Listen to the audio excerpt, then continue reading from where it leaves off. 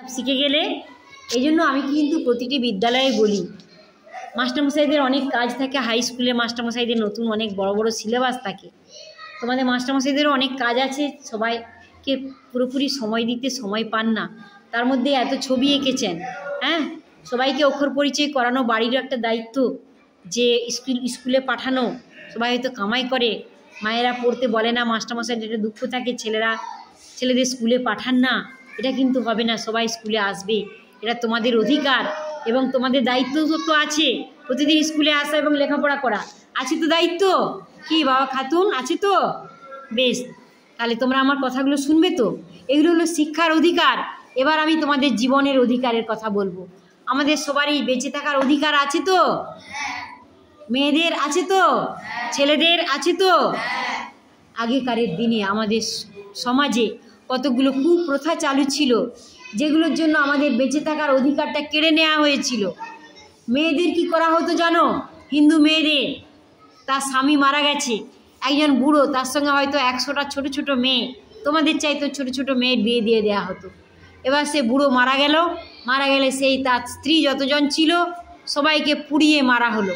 ভালো করে সাজিয়ে, রঙিন কাপড় পরিয়ে, সিঁদুর মাখিয়ে, তাকে ঢাক ডোল কাঁসর বাজিয়ে পুড়িয়ে মারা হতো। তার কান্নাটাও কেউ শুনতে পেত না। এটাই নাকি ধর্ম। হিন্দু ধর্মের মূল কথা বলতো। তাহলে মেয়ের কি বাঁচার অধিকার থাকছে? পুড়ে মরে যাচ্ছে সব। কি গো? পুড়িয়ে মেরে দিচ্ছে তো মানুষরা। তাহলে বাঁচার অধিকার সে পেল না মেয়েটি। ছোট ছোট মেয়েগুলি পেল না। আবার কি আরেকটা খারাপ কথা ছিল জানো? এই যে শোনো, মায়েরা মানত করত কোনো কিছু মানতের জন্য। যে মা, আমার এই মনোবাসনা পূর্ণ করো। আমি গঙ্গায় আমার ছেলেকে বিসর্জন দেব। নৌকোতে যাচ্ছে মা ছেলেকে নিয়ে। মা ছেলেকে ছুঁড়ে ফেলে দিল গঙ্গাতে। ছেলে মারা গেল তো? মা মা বলতে ছেলে গঙ্গার জলে তলিয়ে গেল। ছেলে কি বেঁচে থাকার অধিকারটা রইল? মা নিজে হাতে সেই ছেলেকে হত্যা করলেন। সেই অধিকারকে কেড়ে নিলেন বাঁচার অধিকার। একজন মনীষী, তার সতেরোশো বাহাত্তর খ্রিস্টাব্দে জন্ম। তিনি যে সময় জন্মগ্রহণ করেন, আমাদের সমাজটা এরকম অন্ধবিশ্বাস এবং কুসংস্কারে আচ্ছন্ন ছিল। মনীষী এসে কি করলেন? এগুলোর বিরুদ্ধে প্রবল প্রতিবাদ করলেন। সেজন্য তাকে কি কম বাধা পেতে হয়েছে? এই যে আমি তোমাদের বিদ্যালয়ে বিদ্যালয়ে ঘুরি আমাকেও যে বাধা পেতে হয়, স্যার জানেন। কিন্তু আমি কি সেই ভয়ে পিছিয়ে যাই? প্রায় দশটি জেলা ঘুরেছি তোমাদের বললাম, প্রায় তিন হাজারের মতো বিদ্যালয়ে ঘুরেছি। কিসের জন্য? তোমাদের জন্য, তোমরা যাতে ভালো মানুষ হও। সমাজটা তখন অন্ধবিশ্বাস অন্ধ সংস্কার এবং অজ্ঞান, জ্ঞান না থাকা অবস্থায় ছিল। সেই সঙ্গে তখন কি ছিল? আমাদের দেশটা পরাধীন। মুঘল সাম্রাজ্য যে তার পতন ঘটেছে, ভারতবর্ষের স্বাধীনতা অস্তমিত হয়েছে, পলাশির যুদ্ধে মুর্শিদাবাদে পলাশির প্রান্তরে ইংরেজরা পরাজিত করেছে আমাদের বাংলার নবাব সিরাজউদ্দৌলাকে। তার ফলে কি আমরা পরাধীন হয়ে গেছি? সেই রকম একটা সমাজে মানুষের উপর চলছে শাসন, শোষণ, নিপীড়ন, অত্যাচার এবং মানুষের মনের মধ্যে আছে অজ্ঞানতা, অন্ধকার, কুসংস্কার অন্ধ সংস্কার সতীদাহ প্রথা। ওই যে মেয়েদেরকে পুড়িয়ে মারা হতো, সেই প্রথাটার নাম দিয়েছিল সতীদাহ প্রথা।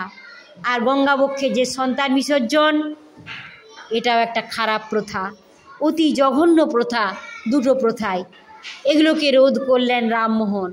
কবিগুরু রবীন্দ্রনাথ ঠাকুর তিনি রামমোহন রায়কে হিরো বলে মানতেন, তার নায়ক বলে।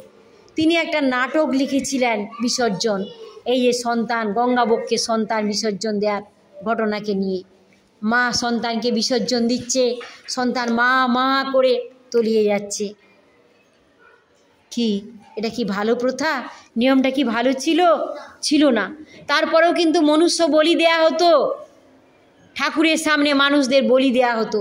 এটাও কি ভালো প্রথা? না, এই সবগুলোকে বন্ধ করলেন এসে রামমোহন তাকে জীবন নাশেরও হুমকি দেয়া হতো। কিন্তু তিনি সব কিছু অগ্রাহ্য করে উন্নত মস্তকে ইংরেজ বড়লাট যারা ছিল তখন তাদের সাহায্যে লর্ড বেন্টিং আইন চালু করলেন। এই জন্য আমাদের সাহায্য নিলেন কিসের? শাস্ত্রে। যে শাস্ত্রে আছে এরকম করে মেয়েদেরকে পুড়িয়ে মারা যাবে না। তাদের বাঁচার অধিকার আছে। আবার গঙ্গাবক্ষে সন্তান বিসর্জনও দেয়া যাবে না। এগুলো কোনো ধর্ম চাইনি চাই কি বলো? কোনো মানুষ চায়?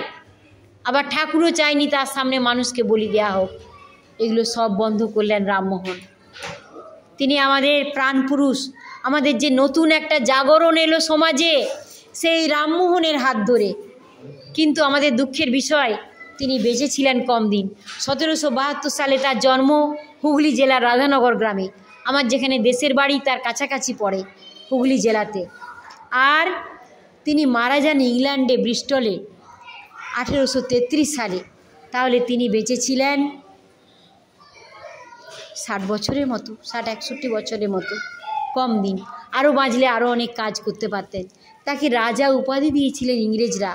এবং এই যে জঘন্য প্রথাগুলো, এগুলোকে ভালো করে, মজবুত করে চালু করার জন্য ইংরেজদের কাছে তিনি গেলেন ইংরেজ রাজ দরবারে হ্যাঁ?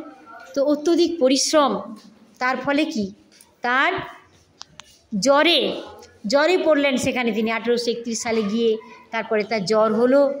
আঠেরোশো তেত্রিশ সালে তিনি মারা গেলেন রামমোহন রায়।